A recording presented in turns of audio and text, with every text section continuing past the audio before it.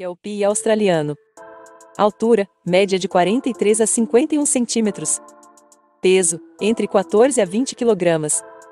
Pelagem. A pelagem é curta e densa, com uma cor predominantemente preta ou marrom, e algumas vezes manchas brancas no peito, patas ou focinho.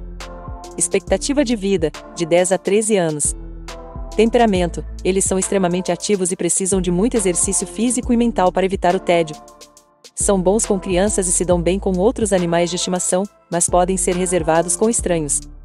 Eles são fáceis de treinar, mas precisam de um dono que seja firme e consistente.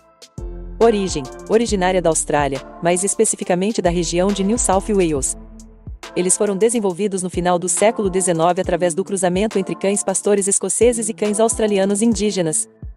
Eles foram criados para trabalhar em fazendas e pastorear ovelhas, e ainda são usados como cães de trabalho em todo o mundo. Eles também são populares como animais de estimação.